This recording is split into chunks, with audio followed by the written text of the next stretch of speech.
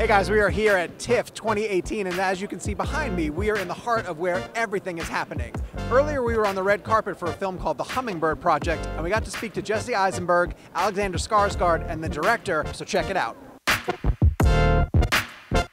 Uh, Alex's character is um, kind of probably say kind of on the spectrum and requires uh, probably kind of a lot of like social supervision. So my character's kind of like a hustler, and he, uh, you know, he's kind of annoyed and also, um, uh, you know, uh, indebted to Alex's character, who's a genius. It was such a weird, different story. It's almost like it felt like Fitzcarraldo, like these guys that embark on this insane adventure uh, that they're not fit for.